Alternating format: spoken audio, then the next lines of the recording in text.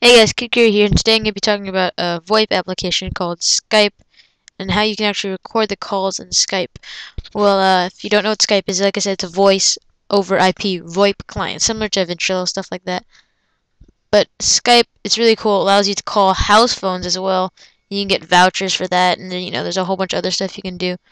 But um, it lets you allow, and it, it only records sound when picked up, so that's really cool. And uh, it's really, really, really, really awesome program. Uh, sorry about that if you guys can hear my TV in the background, but anyways, it's a really, really cool program. And uh, yeah, if you haven't seen it, here's the interface. And I'm in a call right now, but it's on hold. Uh, so you have your contacts list, you have your, uh, you know, contacts. You have a whole bunch of options, and Skype's really cool. You can call, you can see events, you can chat within it, so it's kind of like IM too. A lot of you can send files. It's really, really fully featured, guys. Uh, like I said, it's called Skype.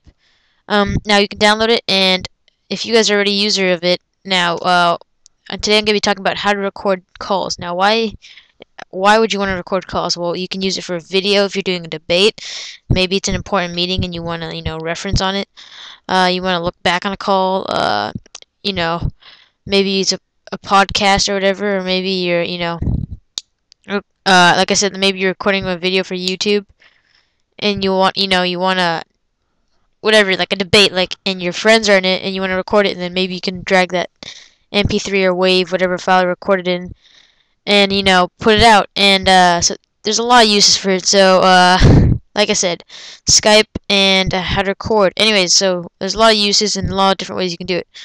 Uh, you can use a sound recorder and find a way to get if you have different sound uh, you know there's a whole technical way to do it if you want to like actually split all the tracks but you can do virtual tracks I don't I'm not gonna get into that today but there's ways you can like actually virtually uh get the tracks and uh take the tracks and actually uh what do you call that? Like they record different audio tracks as in like different uh system sounds. Like uh you can record through uh, what they call in the if you go to your aud audio properties in XP or Vista or and I'm pretty sure there's a Mac Mac application for it as well.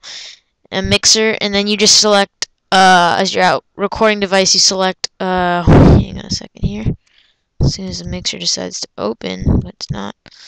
Um, just go to recording devices. If you go to your recording devices and select, uh, where is it here? Sound, is it? No, it's not sound. It's playback. Oh, what is it? even? Should be under recording, but it's not showing up here. Okay, well, it should be something like, uh, it should be, uh, what they call your it's com what's coming out of your actual system, and that is your uh, in in XP. It's the same thing. To access that, you just have to go, you know, uh, adjust audio properties. But what you want to set your uh, actual mic to record out of is what they call uh hang on here I totally slipped my mind here for a second but uh but you have to go to properties and like I said go to recording. You have to go to stereo mix is what it's called. There you go. Sorry, I totally slipped my mind. It's called stereo mix. Set that, and you can record different tracks using the stereo mix. You're gonna want to adjust your audio so it doesn't, you know, make it that loud. You want to, I mean, you adjust your volume, make it about medium, so it's not too loud when it's recording, and you don't get a lot of pops and hisses. But there's another application called the free Skype call recorder. It's uh, called CallGraph. I use this right here. I have it running right now. Basically, whenever you make a call, it automatically starts recording. And you know, there's easy to use, manage, record, and it has a call graph, like it, like the program says. It graphs all the calls you've made. You can delete them, etc., etc. You can download from CNET, or you can download the new beta. There's another client called Pam Pamela, which actually I think for the first time lets you record for 15 minutes and then you have to get a license.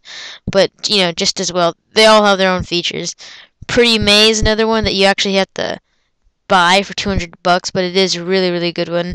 And there's a free download you can try for 10 minutes. It's really really really good quality. Uh, and you know they can do it in conference calls, can do it in single calls, and it's really really great. It has a lot of features. Uh, so there's a couple ways you can do it using a audio editor like or audio or sound editor like Audacity. You can use applications like CallGraph. You can buy applications like Pamela or Pretty May. There's a whole bunch of other applications you can try out there. And I don't know if you guys just heard that Skype sound, but I just got took out on the conference call right there. But anyway, that would be an example of, you know, how to set up a call if you just call somebody, have your program running in the background.